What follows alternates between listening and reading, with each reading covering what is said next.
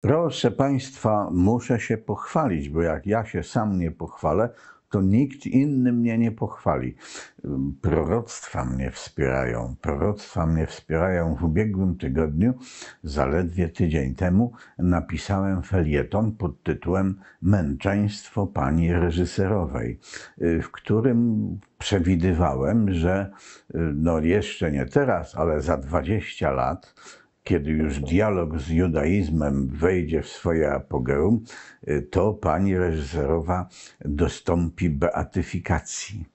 Y, dlaczego 20 lat? To wskazówki dostarczyła mi sama pani reżyserowa.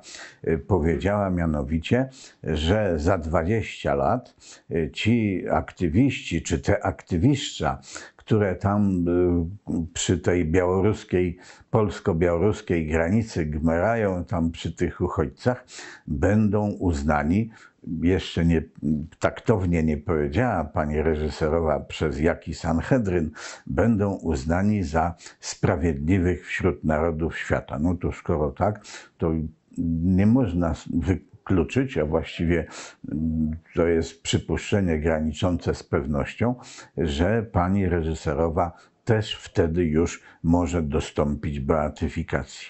I proszę Państwa, co się stało?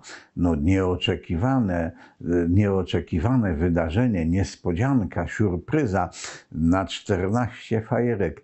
Film pani reżyserowej, to znaczy i ona sama dostała nagrodę, kolejną nagrodę, bo tam nie licząc nagrody pocieszenia na festiwalu w Wenecji, dostała kolejną nagrodę tym razem od stolicy apostolskiej. Od stolicy apostolskiej dlatego że e, tam, e, nie wiem czy dlatego, że e, to takie wrażenie zrobiło na tamtejszych decydentach, czy też dlatego, że w ramach dialogu z judaizmem rabini sypnęli złotem, a to wiadomo, w Rzymie przecież starożytnym, co prawda, ale co Rzym to Rzym, łączność jest, ciągłość jest. W związku z tym w Rzymie starożytnym zauważono, że nie ma takiej bramy, której by nie przeszedł osioł obładowany złotem.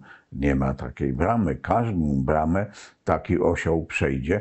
W związku z tym dotyczy to również bramy spiżowej.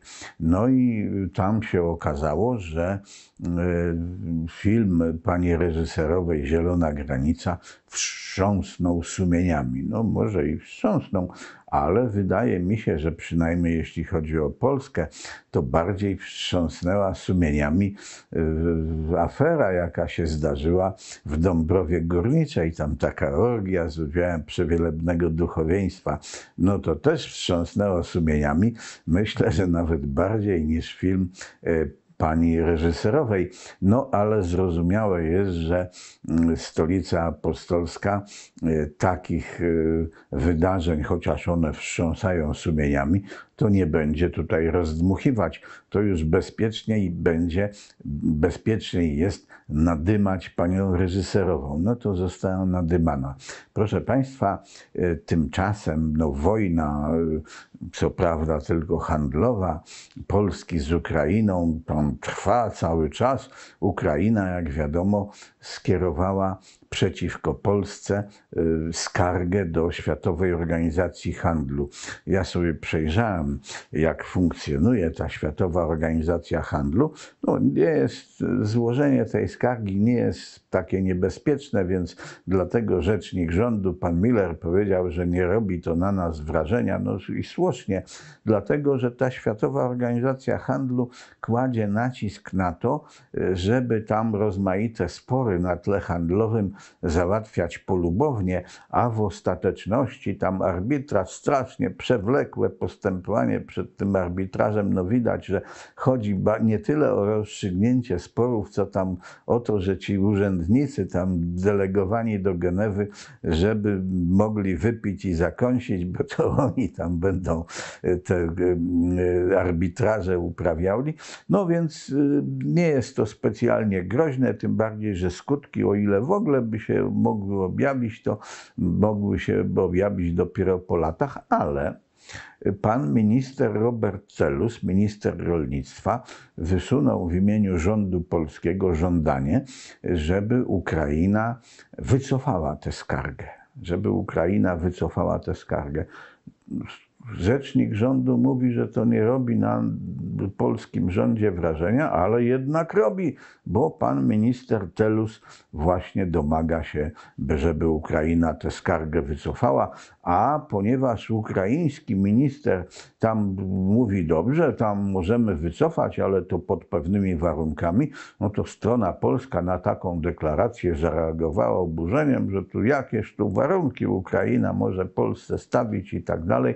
Krótko mówiąc, dlaczego zatem pan Robert Telus, minister rolnictwa, wystąpił z takim żądaniem? Do tego oczywiście nie wiem, bo on mi się nie zwierza, ale przypuszczam, że rząd dobrej zmiany chce sobie zapewnić alibi po 15 października. Bo jak na razie to ta samowolka w sprawie przedłużenia embarga na ukraiński eksport, chociaż jest ewidentnym naruszeniem traktatów, została bardzo pobłażliwie potraktowana zarówno przez Komisję Europejską, jak i przez Amerykanów, bo Amerykanie w ogóle tak jakby nie zwrócili na to uwagi. Natomiast kiedy pan premier Morawiecki powiedział, że Polska już nie będzie broni Ukrainie dostarczała, to Departament Stanu natychmiast zareagował, że to, to ma znaczyć, zażądał wyjaśnień. No i pan premier Morawiecki wyjaśnił, że no nie będzie, bo już wszystko dała i już nie ma y, czego dawać. Przyznał w ten sposób, że rząd dobrej zmiany państwo rozbroił. Ale jak wynika, tak jak przypuszczam, y, intencją y, deklaracji pana ministra Telusa jest poszukiwanie alibi na wypadek, że rząd dobrej zmiany po 15 października będzie musiał to embargo zakończyć.